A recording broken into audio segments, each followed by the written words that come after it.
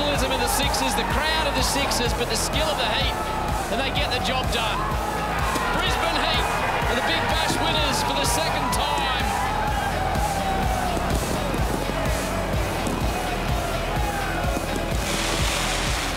And the player of the match joins us, Spencer Johnson. Uh, nine for 60 over the closing stages, four in the final. We'll talk about the Big Bash, but mate, it's great to have you here. We were having this discussion yesterday about Shamar Joseph and yourself about the potential to play Test match cricket. We were talking about it with Vorney and Kerry O'Keefe. You played four first-class games.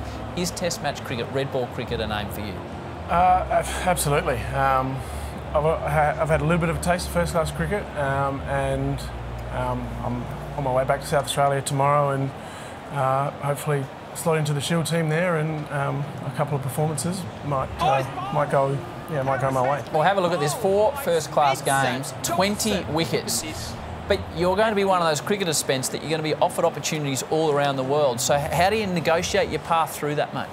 Uh, yeah, it's I don't know. It's a good question. It's a position I'm I wasn't in last year, so no. um, I think taking things um, one day at a well, one game at a time, really, um, and then yeah, Test cricket's a goal. So right. more more red ball uh, focused back into the year, and uh, we'll see how my body goes, and probably make a decision at the end of the season. What sort of injuries have you had in your career? Uh, I've had a couple of ankle stress, um, no back, which is that's good. Which is good. Um, so I missed probably three or four years from 20 to 23, 24, um, which I think I could probably make those years up at the back end of my career. So when I get to 32, 33, I reckon I've probably still got another two or three years in me after that. Uh, in your schedule, you mentioned a couple of Shield games in a, in a, week or so, then it's off to the IPL. Excited about that? Yeah, that's, uh, again, that's a position that you, you probably dream about as a kid to, to go and play in India. It's, um, I've always thought if, if I'm playing in India, I've done something right. So to get an opportunity with Gujarat, um, it's very exciting. Have you worked out how much money you bought getting well, just, per just ball? before that, before we ask to ball? answer that, th this is the moment because we'd love to know what it was. Obviously, this is going to be in repair, but this is the moment when Spencer went in the auction. At 10 crores, Spencer Johnson is going to go to the Gujarat Giants. Last chance for anybody else. All through. Well done then. And going to the Titans at 10. At, thank you so much. Yeah, thank you so much. So it's, you know, congratulations, mm. mate. 1.8, 1.9 million. Were you watching this? Was it blowing your mind? Where were you? What happened? So we were, I was in the hotel with a couple of the uh, interstate boys, um, and we were watching it on, on Fox, and then sort of got to 11 o'clock, and my name hadn't been called out yet, so the lads said, oh, we're going to bed. And they bailed on you. They yep. wrote you off. they, said, they said it's not looking good. Um, so I just had it up on my phone, watching it on, on my phone, and um, name popped up. And as soon as that first bid, I just wanted to go. I didn't didn't have a price set in mind. I just wanted to, to experience it. And um, yeah, my first bid happened, and then I literally locked the phone and um, messages coming through, and all of a sudden it's. Were, were you doing the calculations? Were you figuring it out? Uh, like, oh, I bet you were. I bet you had the calculator out, didn't you? Like, it's uh, massive congratulations. Like, we're not joking about it. It's like it's a life-changing deal, and you deserve it after what you've done. But what, what's happening when, when it's going through? You're you ringing mum and dad? What are you doing? Yeah, I, I FaceTime mum. Um, I think there was a few tears there, and um, FaceTime my partner, and there was a few tears there as well. So. Um, yeah, it's, it's definitely life changing, and I think I said on the um, post game the other night, if it wasn't for the heat, um, the opportunity they gave me here 12 months ago, um, obviously South Australia been working away in the background for the last six or seven years, but um, to get an opportunity here, um, it's yeah, it's changed my life. Spencer, do you, do you get any indication as a player of which franchises may be bidding for you? I had no idea. I, my manager spoke to me as the auction started and said, "You're 50-50."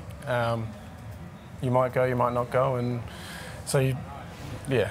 I, I, I think uh, KKR were showed a little interest because I was with them in MLC, um, but they picked Starkey up for four mil, so I was like, you're, mate, you're a bargain, one um, bargain, the young colt. We do talk during the season. We've seen some fantastic hair in cricket over the years. We've got we've got what we think is the best.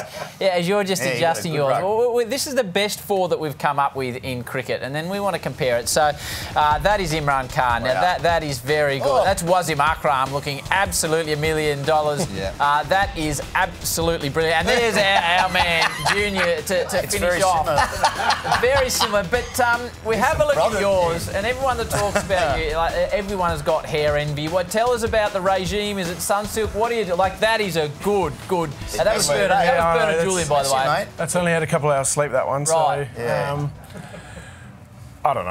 I've got. Mate, it's natural. Natural. It's all natural. Yeah, Yeah. My, I've got a, my uncle's a barber at home, and he Is looks he? after me. So um, I try and get it game day, and Junior, Junior, you needed a bit of product in yours.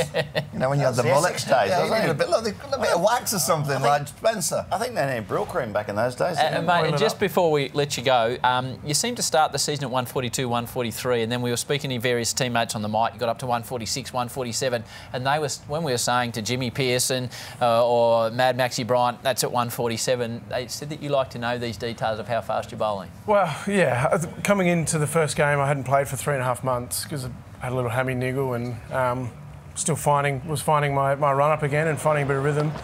And then sort of that, at the back end, um, pumped up there. The back end, I yeah found some rhythm. And for me, it's not about running in fast. It's about timing. And um, I probably get people always coming up to me saying, "Oh, do you think you can run in faster, or do you think you've got a bit more in the tank?" But that's that's a that's a hundred percent effort there. There's there's no, there's nothing left in the tank. It's What's your quickest pill? I hit 150 in Adelaide. Yes. So the fuller you bowl, the quicker. So every now and then, you just bowl a low Yeah, full toss. it- but I crack bowled up. full the other day and I went I went the journey. So Yeah. Well, mate, congratulations. You deserve everything in coming your way. It was great to see you lift the title and have so much success. Good luck in India, and it's great to hear you want to play Test cricket for Australia. Hopefully that dream comes true as well. And Junior said if you want to spend your cash on a horse, Yeah, well, if yeah, a horse you want to buy, mate. Yeah, yeah. I saw you on the uh, Sportsbet. Let's um, might have to have a chat.